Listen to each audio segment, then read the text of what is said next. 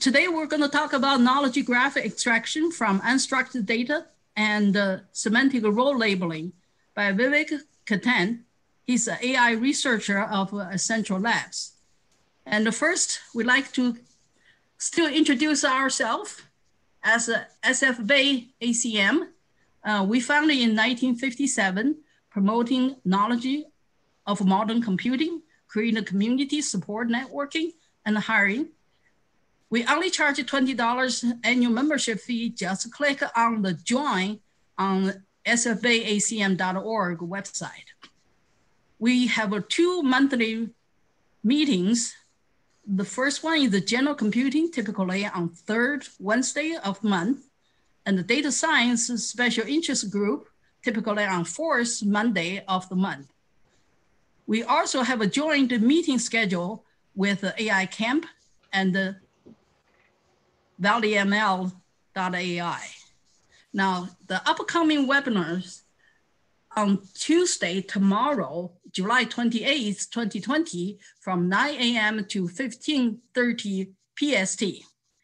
It's responsible data in the time of a pandemic by 19 speakers, including UCB and MIT's professors and Turing Award winners. Detailed is on Meetup and click on the, uh, click on the link on the comment section. Monday, August 3rd, 2020, from 10 a.m. to 12 p.m. is a workshop put up by, AI Camp. It's real world reinforcement learning by Microsoft teams of six and led by Chen Tan and Roger Cherry. On Wednesday, August 19, 2020, we have productive impl uh, implications and testing challenges on moving to microservice by Jeff Ellison, and he's a consultant.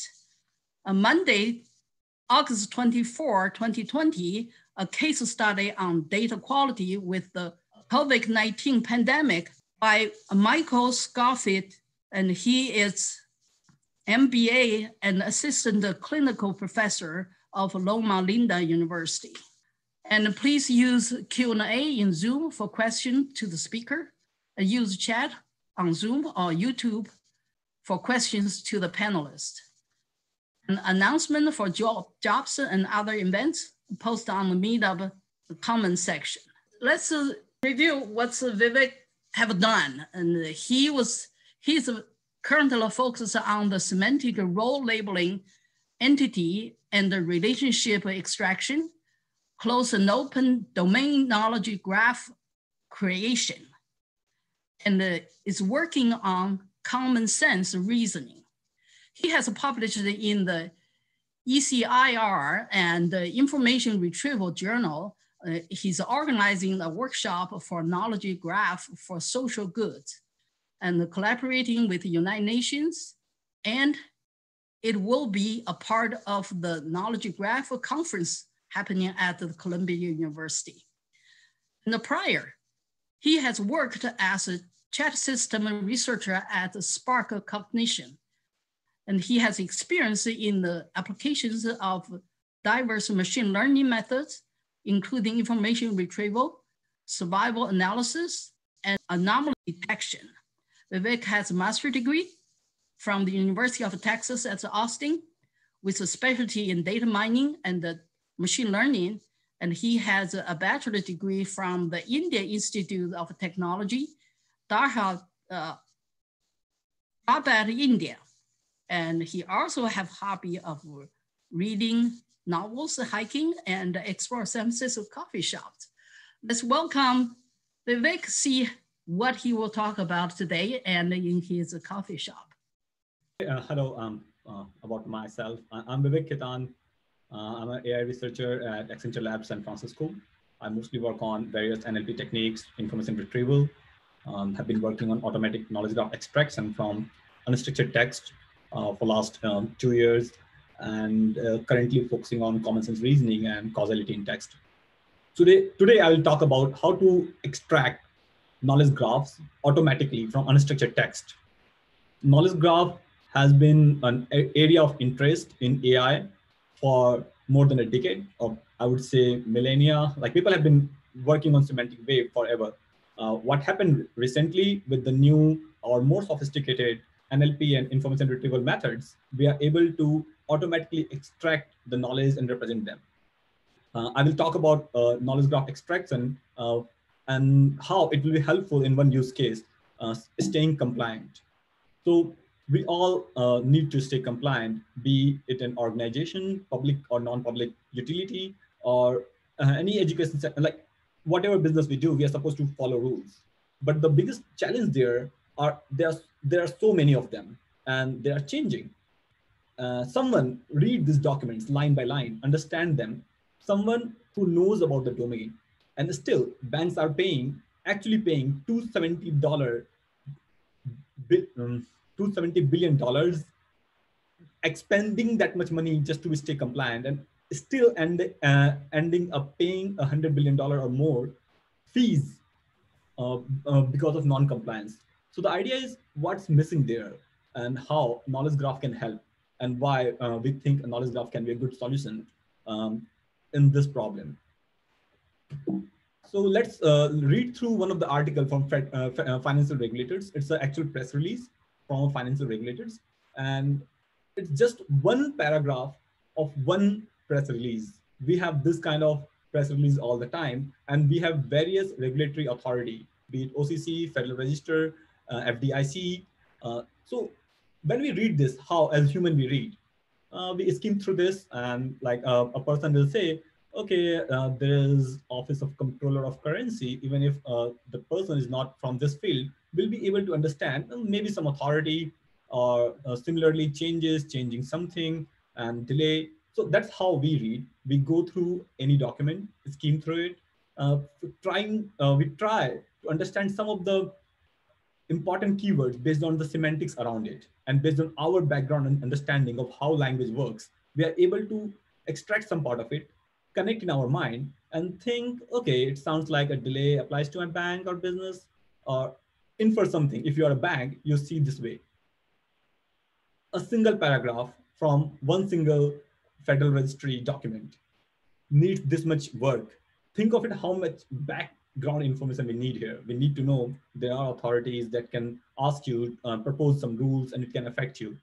So, but we, we just don't have one authority. We have various authority, new news releases are coming. What if a regulation is proposed today? You're a small bank you're following a tons of regulation that you're supposed to follow as a small bank.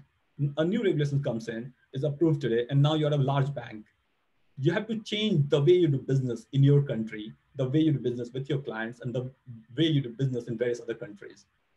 So uh, the idea is if knowledge graph can help us.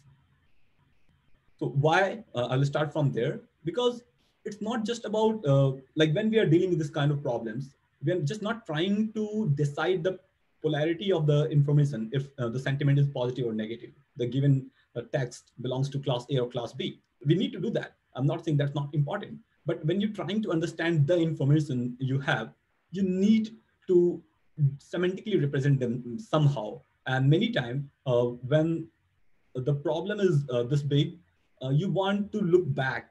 Okay, why I made this decision? Why to make some decision? So uh, knowledge graph can uh, help us by semantically representing individual silos of data and that combat information overload somehow. And it's also a very intuitive structure. You can see what's happening, what its nodes are, what uh, relationship they hold. So uh, knowledge graph can be seen as knowledge in the form of graph. They are heterogeneous graphs. So two nodes can have more than one type of relationship, can be directed or undirected. So, uh, and it, it helps uh, it, it's the most important tool in any knowledge driven task.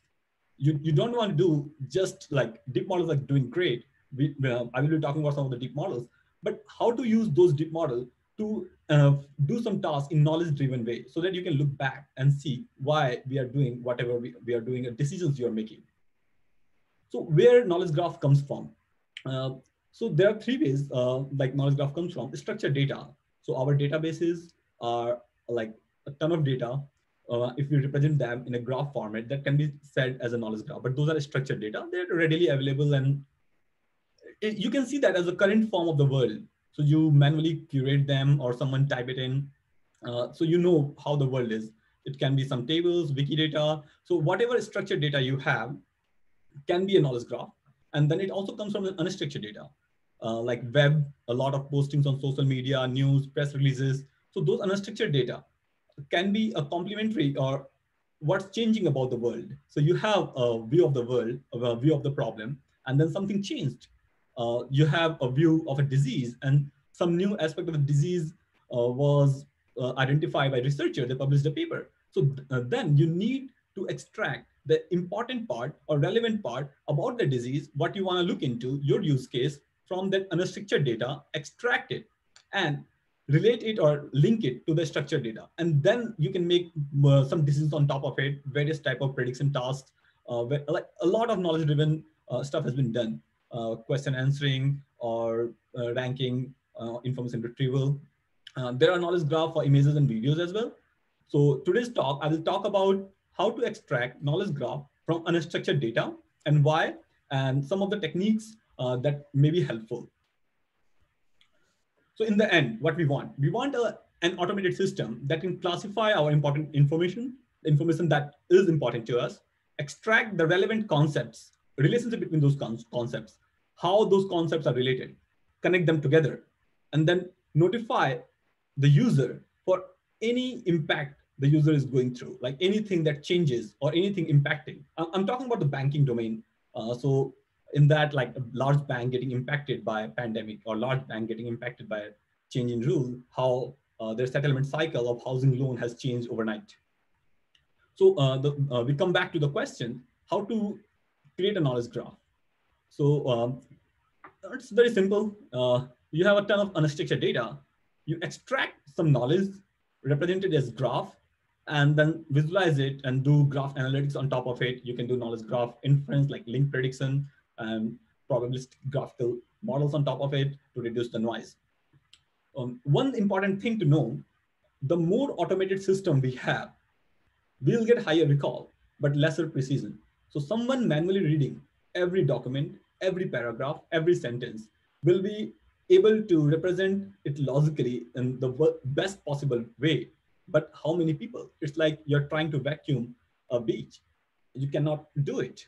So we need automated system. So for those automated systems, there is going to be loss of precision, but at the benefit of uh, increase in recall. So that's what we are targeting. So I'll talk about how we are doing that automated system, how a few methods a person uh, working on automated extraction of knowledge graph can reduce uh, noise and then uh, a possible use case around this. So let's talk about OCC press release. So again, Office of Comptroller of Currency is uh, controls banks, most of the banks in US. So it is an actual article from one of the press release uh, from Office of Comptroller of Currency. I just copied it and I'm uh, showing it here. It's public, anyone can uh, go to their website and uh, access this data set. So what we want, like when we want to extract knowledge graph, we want to identify important, important concept in any news article like this and how that will happen. Someone will go with the domain knowledge and kind of start highlighting the thing or writing it uh, aside, okay, these are the authorities uh, and they control national banks, Federal Saving Association, and FDIC supervised institution. And uh, there is a three-day settlement cycle for housing loan settlement. Now it's T plus two days. And the person knows, okay, three days is T, now it's five days settlement cycle is there, and end up building a domain knowledge graph. Uh, so that's how we manually build the domain knowledge graph, or you can see it as a view of the world. So you have a view of the world based on whatever happened till today. And then a new news article came in. So you have a use case. You, you cannot look for every possible things changing in the world and every possible way they're impacting you. So you choose like four or five things. Uh, okay, if there is a change in threshold in any settlement cycle, if there is change in uh, geopolitical si uh, situation that impacts my business in some other countries, those are the things you decide to represent. So uh, we have a worldview. Uh, look at this graph. So uh, assume it as already built, manually built worldview, current knowledge graph, and you have acquired this knowledge with and with common domain, domain understanding, you have built this. So we know these three institutions, the bubbles in green, operates for security purchases, and we know national banks does lending business, and OCC, FDIC administered them. and they're proposing and announcing new regulations. So this is of the, uh, how the world is today. And then the news article you just saw in the previous slide came out. You want to know how that will impact uh, your business, your day-to-day business. So either you can extract everything from that, or you can define a certain small schema, and then you automatically try to extract uh, these values. So the in each of the box, the text in black is the uh, schema or slot. Uh, you can say the slot name, and the uh, the value of that slot in the previous news article is uh, in the text in the blue. Uh, sorry, red we want an automated way to extract this information and link it to our existing knowledge graph so that you can see how it's impacting your day-to-day business. So again, this is the same knowledge graph, uh, the, uh, the one we saw two slides back. The dotted lines are the new information you just got from the change in uh, settlement cycle. Now we know settlement cycle is T plus two days. This bulletin uh, 201722 came in, FDIC proposed this, and it affects national bank. So if you're a national bank operating security purchase, you know settlement cycle has changed. It's, it's, it's proposal. So you need to be ready for it, how it impacts you or how it impacts your day-to-day -day business. That's where knowledge graph helps. So it's knowledge driven. You can understand what's happening. It's automatic. So there are a lot of uh, ways where uh, this kind of uh, this kind of inference has been done using totally ontological driven or taxonomy driven approaches. So um, I'm proposing a way how to combine them together. So you have a small schema, you're automatically extracting the values of a small schema and using that to quantify the impact of any change on you. So what we need for these things, we need three different, um, I would say uh, knowledge, your domain knowledge, back, background understanding based on domain knowledge, how the world works and your priorities. So then we connect the relevant part of any new incoming information based on these three high level ideas. Okay, so let's come back to our previous slide. So we need to build knowledge graph for whatever we want to do. We have a world knowledge you, you created manually, but you cannot do that manually all the time. So uh, knowledge graphs are created using two simple ways, uh, as I uh, told earlier, knowledge extraction and graph construction. Knowledge extraction uh, involves few methods and graph extraction and uh, construction as well. And there are various other ways. And then there is noise reduction methods, and it's very active area of research because it's very difficult to quantify the uh, the noise or reduce have the minimum noise when you're doing automated ways. Many times it's unsupervised and supervised. What it does when you create a knowledge graph, so all these methods in the uh, mentioned the knowledge extraction as well as graph construction, they identify who are the entities, those slots. You, you decide your custom slot, or you can have previously, previously open source well-trained models for entities like name, person, place, organization, and various other. What are the attributes? If you can capture some attributes about those entities, uh, if you have defined that in your schema, and how they are related, how they're interacting with each other. So that's this all method do just these three things, and that's what a knowledge graph is. So let's walk through uh, some of the uh, methods and what it actually does.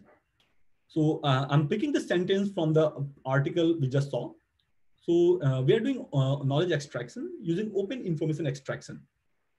So open information extraction is an unsupervised task of generating a structured machine readable representation of the information in text, usually in form of triples. So there will be subject, there will be verb, there will be object. So it does this automatically given every sentence. So uh, there are, I would say, all seven or eight type of uh, automatic information extraction modules. The, uh, so we, we are using Stanford OpenIE. It's public. You can use it for your use cases. So uh, what's the difference? The information you extract using anything, it's not facts.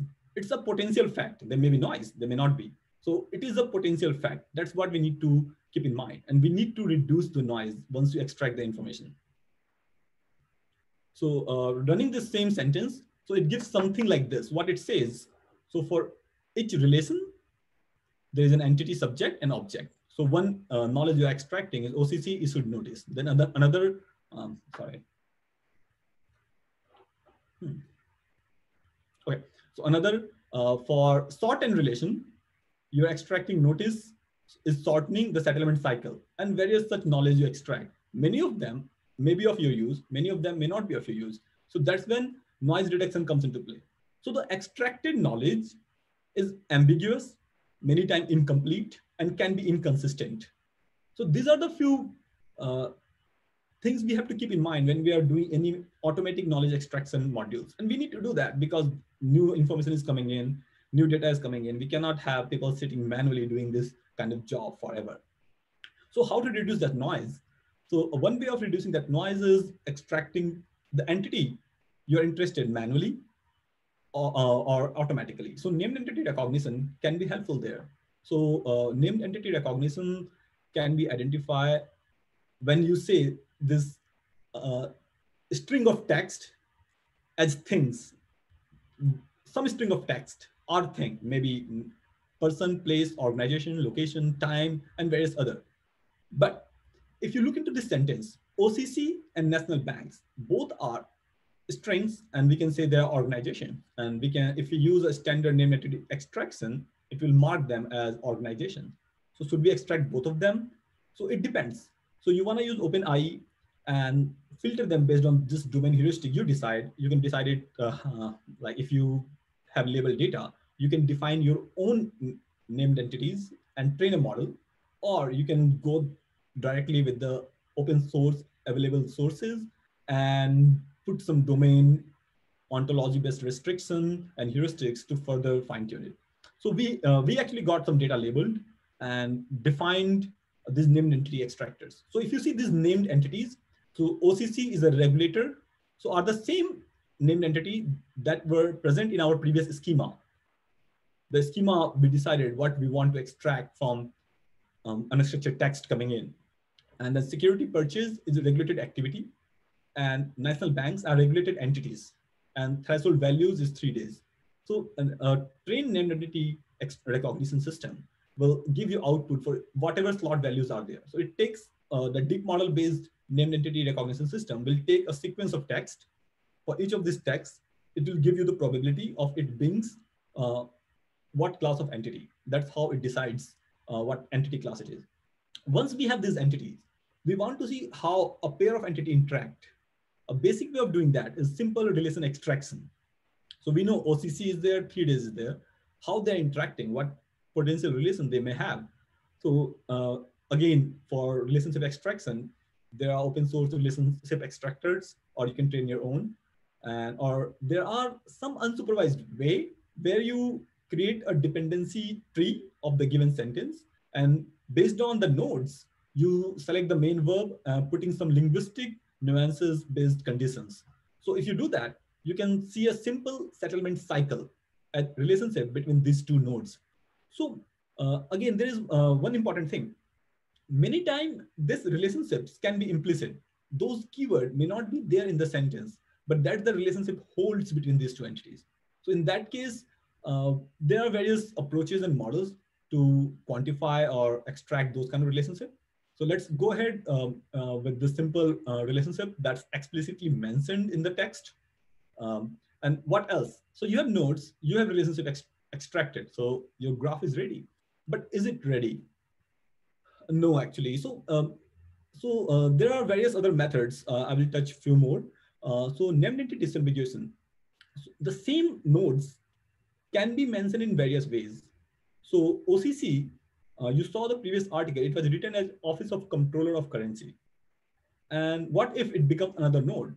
And then you are doing some inference and you're, because you're not manually reading everything, your model is confused. So we need to collapse those nodes and named entity disambiguation helps there. So using named entity disambiguation system, we can collapse these nodes together as sim single node. You can decide that single node and there are various methods simplest one, you, if you know, okay, OCC of Office of Comptroller of Currency, you can create an entity dictionary, or you can, uh, there are other deep models and uh, very linguistic uh, feature-based model as well. So these three ways, Office of Comptroller of Currency, OCC, Office of Comptroller of Currency, and OCC. OCC is actually mentioned in the data given by OCC now and then. So they don't maintain a standard way of really uh, talking about themselves. But we want that because our knowledge graph is going to be a graph about facts. So first you extract the noisy thing, that's potential knowledge. Then we denoise it using various techniques like that. And again, T plus three days, three days, three days. In the same article, they will talk about the concept of three days uh, increasing settlement cycle in various ways. So we need to collect those graph as well. So here again, it will depend um, on your linguistics or I would say domain heuristics or uh, your end use. Uh, once we have this, in a way, we have a small knowledge graph. And um, if you uh, remember my previous slide when I was talking about knowledge extraction and graph construction, you can use various those techniques. So uh, we need to do linking. So the OCC can be mentioned in different ways, or say uh, auditor of OCC uh, there's the person's name is there so that uh, the person is auditor so the same same person can be mentioned with different words totally different words that you may not be aware of. So we need to do uh, link those things. We need to do co-reference resolutions uh, and uh, to further reduce the noise. Uh, after this i'll talk about semantic role labeling. Uh, i will talk about semantic role labeling in very detail later on but just a pictorial idea what it actually does. So semantic role labeling labels the role each of the entities or actors are playing in any given sentence or incident. How it works. So each predicate is treated as an action that's happening and it tries to uh, predict who is doing what to whom and how, when, and various other similar roles that's possible. So in this sentence, we can easily see there are three predicate issued. Something is being issued. We know that someone is issuing something. Sought in okay, something is certain and there must be some initial stage and some uh, some uh, last stage.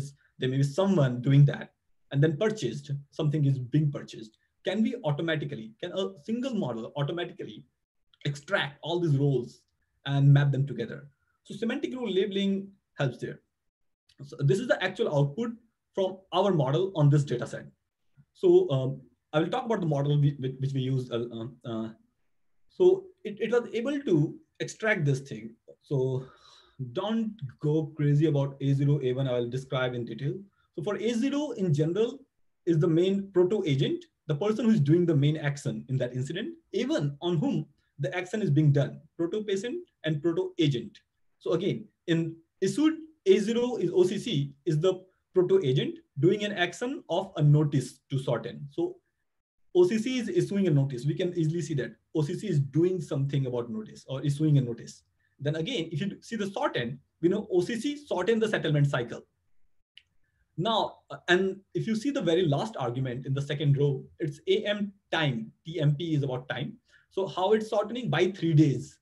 So it's automatically understanding this part. If you have, say, three days extracted as a node, now we can see OCC is related by shortening the uh, settlement cycle by three days. So this kind of semantic understanding of language is necessary to map them as knowledge graph. And the last one, this is also, in, also interesting. If you see purchased, the sentence is security purchased by national banks. We can understand as human that national banks are purchasing security, but in the sentence, security is not the object.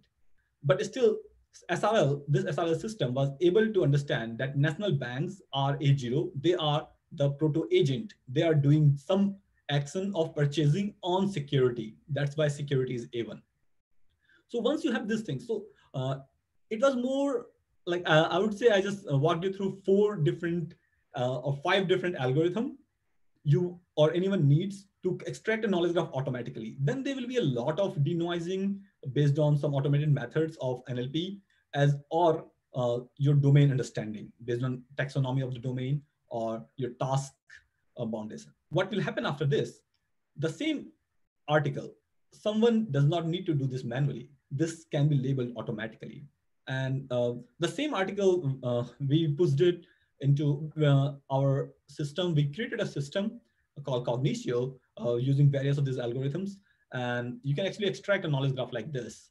And further, you can do link prediction. I will talk about link prediction a little bit. So link prediction is another denoising techniques and do more inference. Uh, we have a rule-based engine. Um, uh, that's the domain heuristics I'm talking about.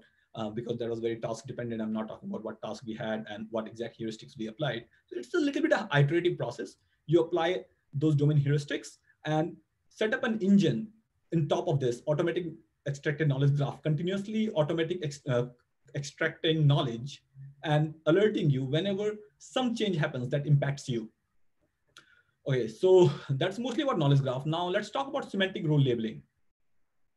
So what is semantic role labeling and why we need to underst uh, understand it, read it? So semantic role labeling is a way of meaning representation. And it's very old. The text you see on the left is from uh, and Manning book, Speech and Language Processing. And it's Sanskrit text. It's studied like decades, centuries back. Uh, so it's very old and its form has changed. So what is meaning representation? A simple sentence to explain meaning representation, it can be seen as a bridge between subtle linguistic nuances and common sense non-linguistic knowledge about the world. How any event is described in linguistics or any language and how we actually understand them in real world. Who is doing what to whom. So that's the difference. It's the bridge that makes that possible and uh, that understanding possible for machines or for us, even if we have a very complex uh, uh, sentence, it will go very, very out of control. So let's talk about meaning representation, and then we'll move into uh, semantic role labeling. So meaning representation, it's a well-studied and uh, researched uh, area in linguistics. So you are seeing here four different way of meaning representation of a very simple sentence. I have a phone. All the sentences share the uh, all the representation are sharing the same thought. So first is first order logic. So it's being used and uh, like uh, there, there's still a lot of fans uh, using this first order logics. Uh, and you define uh, who is having what and the person having is a speaker, head thing is a thing phone. And then you write these rules for everything. And at one time it stops scaling up. They have great precision, but it stops scaling up and new things come keep coming. Then there are uh, with directed graph, you can do something same. The arg zero will be the person or having the, uh, the arg zero of the main verb. And then the uh, third one is textual form. It's just the same textual description of the directed graph. So the main predicate is have and uh, arg zero and arg one is there. So what uh, who is having and what is having. And then frame based or slot filter representation is there. So this is also, uh, it is more recent than uh, other three methods and used a lot. So for each incident, uh, each predicate will become incident and you, for having, there will be haver and had things. You decide for each predicate, you decide this kind of slots and search for this slot value. Who is the haver speaker? Who had the thing? Uh, what thing they had is phone. So you keep doing that. So uh, uh, meaning representation, all these forms share the same thought consisting of the structure, like very simple structure like object, there's property of object, and there's a relationship between them. But in language, similar events can be expressed in a variety of structure using a medley of sentence. So a common structure can be shared in various sentences expressing the same thought. If you look at the top, those four sentences are expressing the same thought, but they're very different. If we start writing rules like meaning representation or the rules I just uh, showed you in the previous slide, it may end up in totally different understanding. So we need a level of representation to capture the commonality between the sentences. What semantic commonality these sentences have if we want to build an automated system. That's where uh, semantic role labeling comes into the picture. So it what it does, it uh, represent the semantic understanding of the various actors in an incident and present uh, and it overcome the uh, i would say ambiguity or the beauty of the language how in different ways we can represent the same thing so similar structure expressed in variety of sentences or using variety of keywords how to get over it so coming back to srl and his, it, its history it's as old as 8th century bce so uh, it was studied by Panini. Um, the, he had a collection of eight books describing the linguistic structure of Sanskrit language having 3,900 uh, rules, uh, more like the formal language theory we have, those rules I showed you in the very beginning. So uh, semantic role labeling, abstract meaning representation, there are other representation as well. Uh, so there is this deep role representation and then thematic role representation. So deep role um, and thematic role does not do as good as SRL. Why? Because deep role is very event specific. You write rules or uh, like those linguistic structure for different type of events. And again, you cannot scale up and the event can be expressed in various different ways. And then thematic rule, it captures the semantic commonality, com, like sem common semantic structure between various actor in the deep rule event. But the problem is the rules are either very abstract when they're at high level, and when uh, thematic rules are written at lower level, it goes into too much specifics. That's where semantic rule labeling comes into picture. It's rule, uh, the extraction of semantic rule labeling is able to capture both very high level as well as low level semantic structure of the sentence. So let's look more into this. So what semantic role labeling does? So it helps us understand the semantic relationship between a predicate and its argument. So the predicate becomes the main event happening and the argument are the actors in the event and how those actors are working. So it gives you the idea who did what to whom and perhaps also when and where in what manner if that information is in the given sentence. So uh, the assumption, the biggest assumption in SRL is so the given linguistic structure or the sentence has some information that can be used to express the state of the world. So we are looking for something that is in the text. Otherwise, it won't give you, it won't, it won't be able to extract that's not there. So uh, let's uh, see how it works. So semantic rule can be seen as a way to represent any linguistic structure in a structured representation that's high level as well as low level. So uh, let's uh, look into uh, the SRL outputs, those arguments we saw in the previous slides. What was A0, what is A1? I'll just walk you through them and some architect of uh, SRL. So this is a very standard uh, accepted SRL output in linguistic community. So A0 is always, so okay, so semantic role labeling breaks the actors based on the predicate so we have PropBank, a big predicate, and uh, there are also uh, VerbNet and others. So I, I use PropBank based on a paper uh, I was implementing for my uh, recent work. So for a given event, you know the predicate. For, for that predicate, these are the arguments. How different words in the sentence were related to that predicate. So A0 is proto-agent. It's the main actor doing something.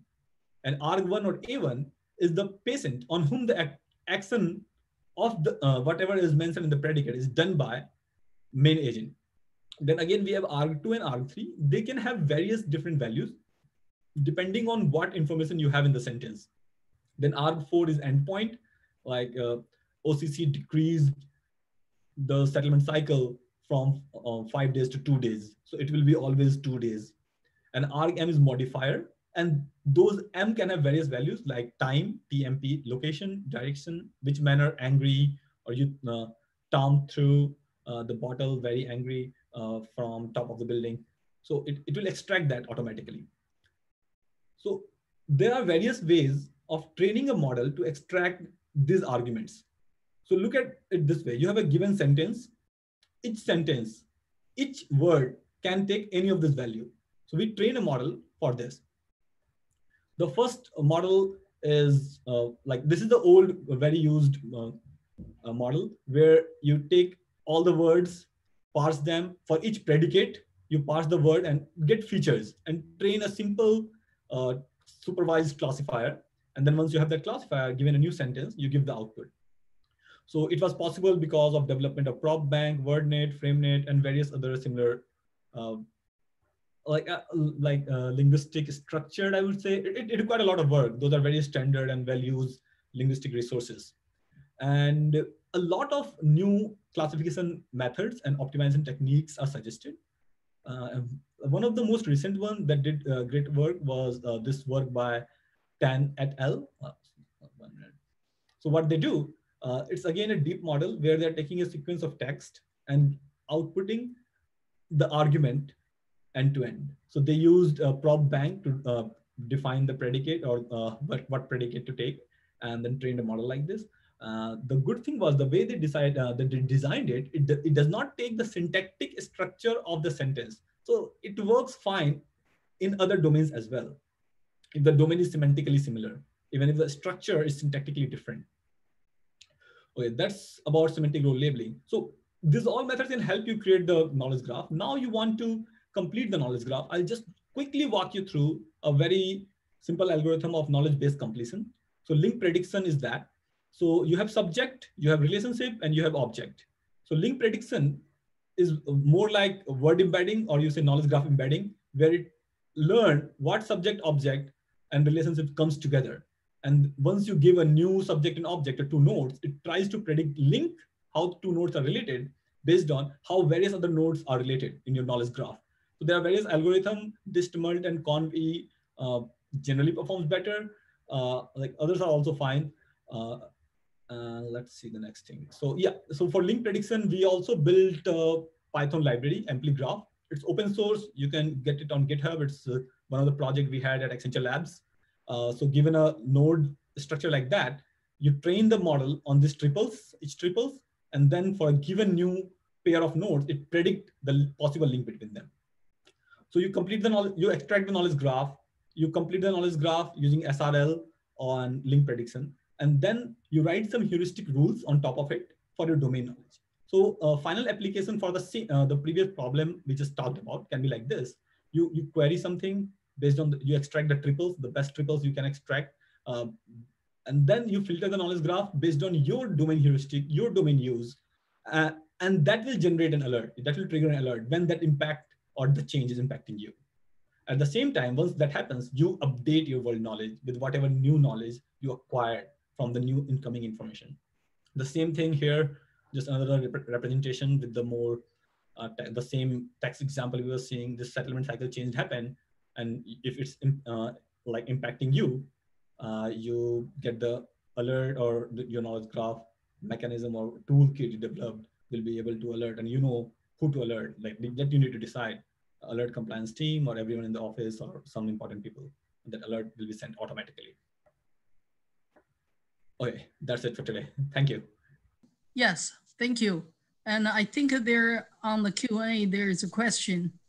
Okay, so uh, someone asked me, why don't you call A0 subject and A1 object or uh, subject and A2 indirect object?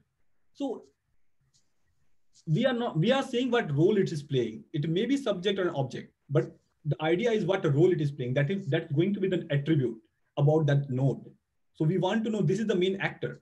Like there there can be main subject and other subject but that subject is the main actor of the event you are working on i don't understand your answer okay he said all right um, i'm replying on text so I'm saying we want to understand the role. We are not saying it is subject. What that subject is doing, that is a semantic understanding of the text. It is subject. You can get that from dependency tree. But what is that doing? That is the whole idea. Like understanding the semantics of the role that subject or object is playing. Because you want to see who is changing what. You just don't want to know uh, its subject. Okay. now Okay. Now, is Stephen, are you are you able to, to say something? Yeah, thanks, Lena. Can you hear me? Yeah, I can hear you. Uh, sure, yeah. Yeah, hi Vivek. Uh, thanks, thanks for your excellent talk. So yeah, I think I uh, I wrote a comment in the Q&A trying to paraphrase your point. So even if you say the three-day threshold rule was changed by OCC, um, syntactically, three-day threshold rule is the subject, but really we want to say OCC equals A0, proposed changing, and then three-day threshold rule is presumably A1. Is that is that correct? Exactly. So if you have a big, very big knowledge graph, you, you we are not working on one sentence. So we may have a lot of yeah. We want to know who is changing the threshold. No, no, sure. Mm -hmm. So, and, uh, for your use case, you uh, like as a small bank, assume you're operating a small bank, you want to control this part. Okay, if OCC and FDIC changes any rule, uh, yeah. like the domain uh, understanding that I was talking about, then uh, alert me. If they change any rule about threshold cycle of set housing loan, alert me. So that's where the threshold cycle is changing, but it is changed by OCC. OCC is the OCC is the main actor. That's why we need to know that semantic information. Who is doing it to further gotcha. do those reasoning. Okay, so just uh, the the the main actor, the A0, is not necessarily the subject, although I imagine commonly they are. And you, you might like to give an example. When I saw the A0 to A5 terminology, and it, it doesn't correspond to anything I'd seen. You might like to give a motivating example of A0 is not necessarily the subject and it's not necessarily the, fir the first thing in the sentence. If you see here, the security purchased by yes. National Bank, but national banks are A0 here, but they are not necessarily subject here. Okay, can you, if you could label A0 to A4 in that sentence, is do we have an A2 in that sentence? No, no, it, uh, this is the actual output from our model. So yes. it's not something I'm saying if we don't have an A2 in that sentence, what's the meaning of defining A2? So uh, that is the thing I'm saying. If uh, semantic rule labeling extract the information available in the sentence. So for each predicate, it breaks the part of the uh, sentence that has some relevant roles around that predicate. Oh, okay. So you're recursively parsing the same sentence to extract A0 predicate A1 relationships? Yes, exactly. So uh, I'm not doing recursively. That's how you uh, earlier uh, we used to do that. I'm doing okay iteratively. Model iteratively left to right iteration? Yes so yeah so that's how people used to do that. If you see here for each predicate yeah. at each node. So each predicate you are taking each each word. That is each node. So that's how yes. i had this slide. Uh, yeah. that was earlier method but now we have moved to uh, end-to-end deep model and just yes. give understand the probabilistic global probabilistic value and give you the output Okay, sure. And it's it's kind of an implementation. We could do it iteratively, it's uh, recursively. It's kind of an implementation detail, whether we do it iteratively or recursively, and we're relying on the fact that we're dealing with a left to right language. Yes, exactly. And actually, uh, the features you can control that part in the feature vector for each predicate for each node. Uh, people used to define the feature vector. So those feature vector can be the what what is the main verb, uh, what is the dependency tree, what is the uh, the path of this uh, node to the main yes. verb so you can add those kind of features here. And uh, so uh, there are a lot of uh, suggested features. Uh, there's a paper by, uh, I think, Manning, 2000. they suggested what kind of features to use. you can, I think you said search for that Manning 2000 and supervised SRL feature suggestion. And there they suggested, so they did a lot of experiment, what kind of feature um, improve the accuracy of extraction. Sure. And is is is SRL then? So it doesn't. It was so we're not requiring the language to be left to right. Is SRL largely independent of the language? Like I'm thinking of languages like German, where um, the verb comes last. Oh, no, no, no. So it depends. Like for each language, they will have their own uh, syntactic structure. Uh, yes. And that syntactic structure, you will get, extract the features like dependency tree, main verb, and all. So it will work for them. Mm-hmm, sure. In in your work, have you only done English? I mostly do language. English? Yes. Have you done non-English language? I have done German a little bit uh, for some machine translation, uh, more of an experiment, but uh, uh, my work mostly, as of now, is around language. But the thing is, if you can do one language, you have a parser, you can do another language as well. Some domain understanding helps, but that you acquire while you're working with the different languages. Mm-hmm. So like we have very good, uh, if you, uh, I, I, mentioned that we have very good dependency parsers, and uh, PropBank and those sort of things. No matter what language we, we are dealing with, you can easily get a deep uh, or language modeling based parser that will be helpful. Sure. Yeah, it, it might be interesting if you can show an example of a really, really hard example to parse. I guess that has lots of co-ref co-reference and any yes, and stuff like that. There is uh, some work there uh, from AI2 QASRL. So they ask question, uh, you can search for QASRL, uh, question okay. SRL by AI2. So they ask question around, so a factoid based question for each predicates to get a more deeper understanding of the sentence. So the uh, based on my documents I was dealing, uh, this model by Tan et al. Uh, did great job. So for further getting more deeper understanding, I think QA SRL is a very good model to try if you have some problem like that. Okay, thanks. And last last question, and then I'll mute. Can you recommend, um, if I missed it, which packages do you use? Which packages are easy and simple to use in Python that do SRL? Uh, I haven't used any package actually. I kind of implemented a find like trained the Tan model. So uh, I trained this model uh, by labeling some data because it says it's uh, somewhat domain dependent.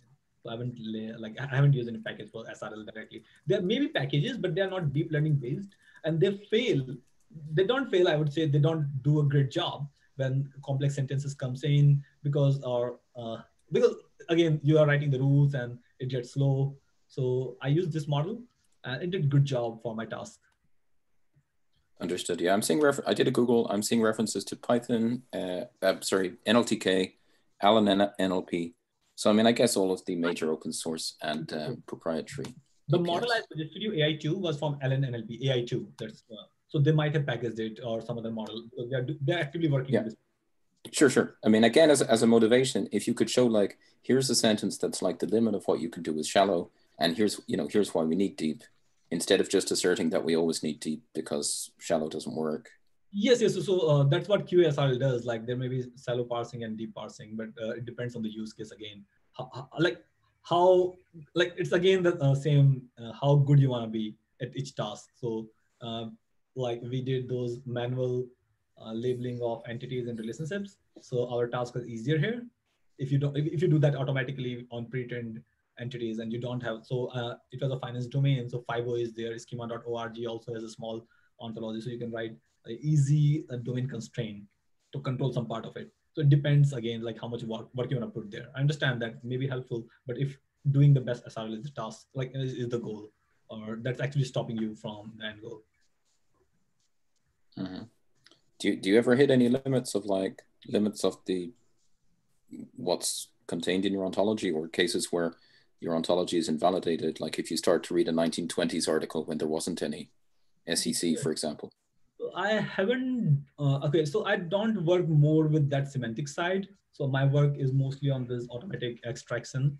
And uh, uh, so there, so if you see the most of the ontologies, like uh, I was uh, uh, listening to Danny in one of the talk, it's more of a meta information. Those ontologies are meta information. So they are helpful, but not enough. So there are some work uh, of automated uh, ontology extraction, and that like you can also look into that direction if uh, that excites you. No, no, sure, sure. But I mean, my, my, my question is like, there's this implicit assumption everywhere that your ontology is fairly complete and always accurate and it never has mistakes. And we're never talking about something beyond its domain.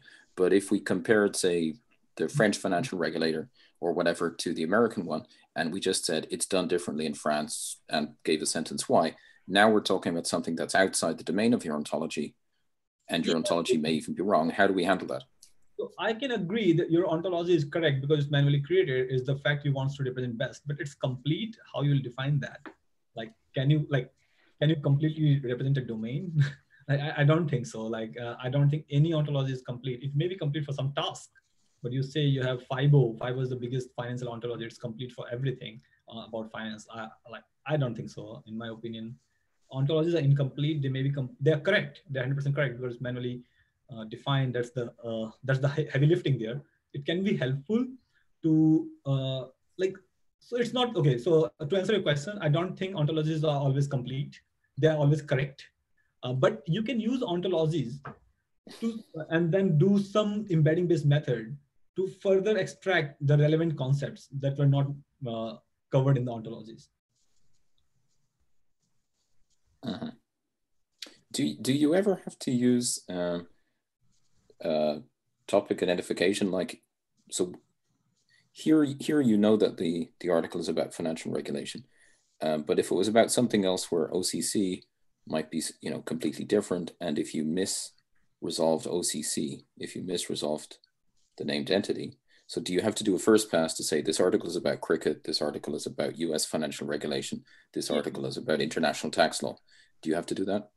Yes, so uh, you have to do that. Like uh, you can find in that task somewhere, but you have to do that. Okay, Excuse yeah, me. thanks very much. There's a there's a question from someone on YouTube. uh, Chiradeep, uh, can you use techniques like BERT to enhance this?